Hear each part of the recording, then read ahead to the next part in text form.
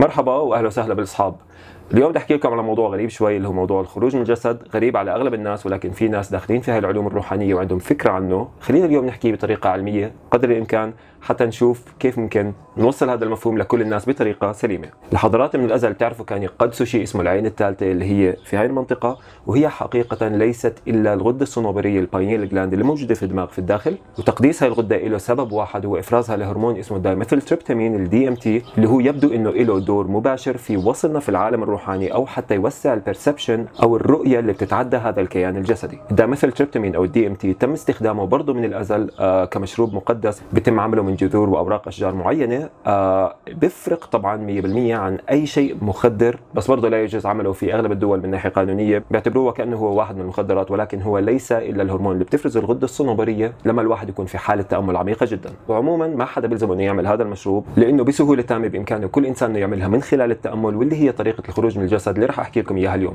موضوع الخروج من الجسد أو الرؤية الروحانية اللي بتتعدى هذا الكيان المادي هي ليست إلا الدخول في حالة تأمل عميقة آه، ومن خلالها بنجبر هاي الغدة إنها تفرز هذا الهرمون ومن خلال هذا الموضوع بتنفتح الرؤية الروحانية أو مثل ما بقولوا بصير في خروج من الجسد أو تحرر من الكيان المادي. وهذا الشيء أي إنسان بإمكانه يعمله من خلال الممارسة السليمة. والحلو في الموضوع مثل ما حكينا في الفيديو الماضي إنه لو الواحد عمل تجربة واحدة فقط للخروج من الجسد هاي التجربة ببساطة بتفرجينا إنه الوجود ازلي وليس هنالك شيء اسمه موت هي ببساطة روح أزلية وجدت في هذا الجسد مؤقتا وخارجه منه في أي لحظة بس مستمرة وما راح يتغير علينا ولا أي شيء بناء على مستوى الوعي اللي موجود عندنا. في شيء بيصير مع الجميع على فكرة اللي هو بسموه الجاثوم أو ال sleep paralysis عادة بيصير وقت الفجر تقريبا.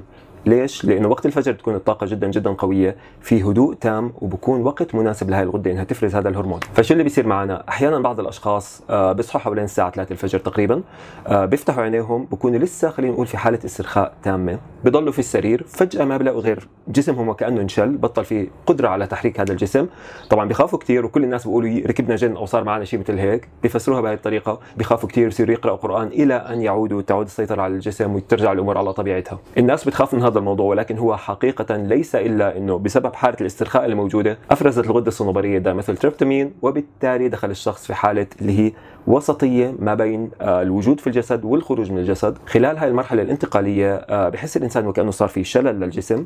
طبعا لأنه أنا في مرحلة انتقالية للخروج من الجسد. وعادة بكون في صوت بسمعه بالإذن صوت تردد بكون عالي وقوي آه، بيكون خلال عملية الفصل خلال المرحلة الوسطية هاي. مجرد طبعا للي بيعرفوا مجرد ما تتم عملية الفصل من الجسم تختفي هاي الرنة وبصير الواحد في حالة سلام مو طبيعية. المهم هذا هو الشيء اللي بخافوا من الناس بسموه ال sleep paralysis أو الجاثوم بالعربي.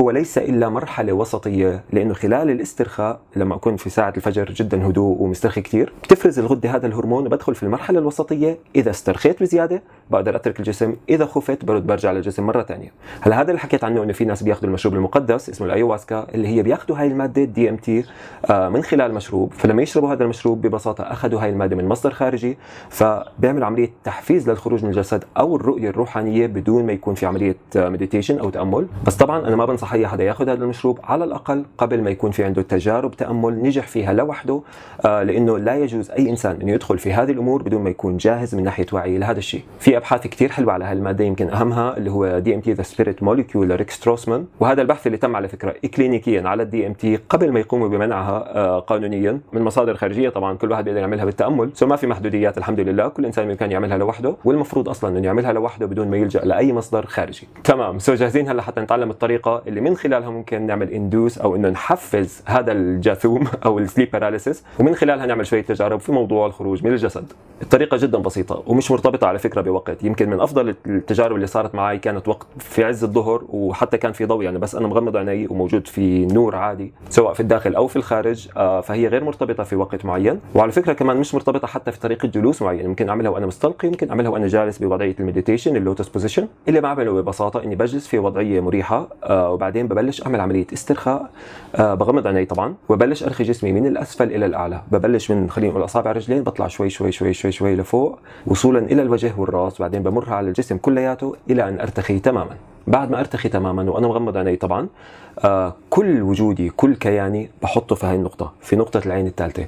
so, برخي جسمي هي ببساطة حتى أكون مسترخي قبل ما أبلش بالتمرين. بعدين بس يرتخي جسمي بشكل كامل بحط كل كياني كل وجودي في هاي النقطة في منطقة العين الثالثة. so, أنا وكأنه جسمي كله مش موجود صرت كلياتني موجود في هاي النقطة. بس كل وجودي في هاي النقطة. so, شو الهدف من هاي الفكرة؟ الهدف منه إني لما أحفز وعي وأحطه كله في هاي المنطقة اللي عم بعمله ببساطة إني عم بحفز الغدة الصنوبريه ال pineal gland. ومثل ما حكينا ال pineal gland هي اللي بتفرز ال DMT اللي هو الهرمون المسؤول عن هاي الرؤية الروحية أو الخروج من الجسد.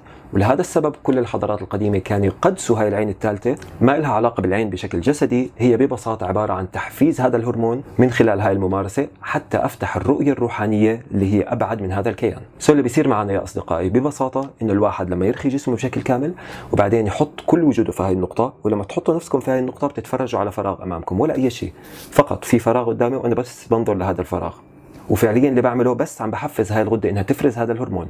بمجرد ما يتم إفراز هذا الهرمون اللي بيصير نفس اللي بيصير معنا بالجاثوم أو ال sleep paralysis مرة واحدة بتشوفه زي رش هيك صارت بالجسم كلياته والجسم وكأنه بيصير في حالة شلل ما ما لي سيطرة على هذا الجسد.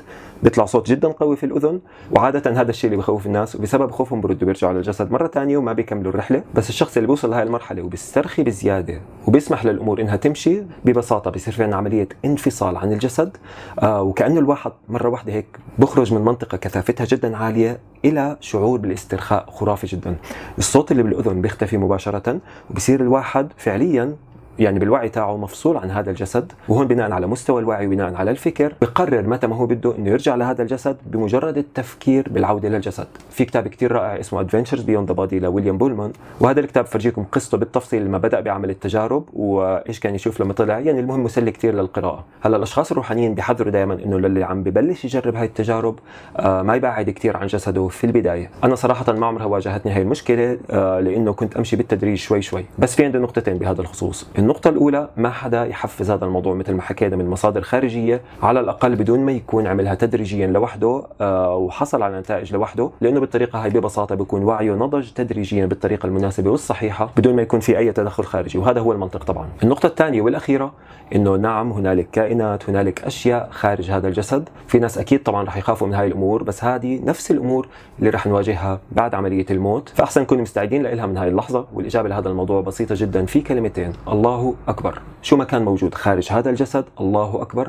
ما في أي شيء ممكن يمس الإنسان اللي بيكون إيمانه قوي. فالإنسان اللي بيكون إيمانه قوي لا يخاف من أي شيء ونضوجه وارتقائه في الوعي لن يكون إلا نور من نور وإلى نور. وهي هي بالنسبة لليوم وبالنسبة للخروج من الجسد. الله يحمي الكل ونشوفكم إن شاء الله المرة الجاية.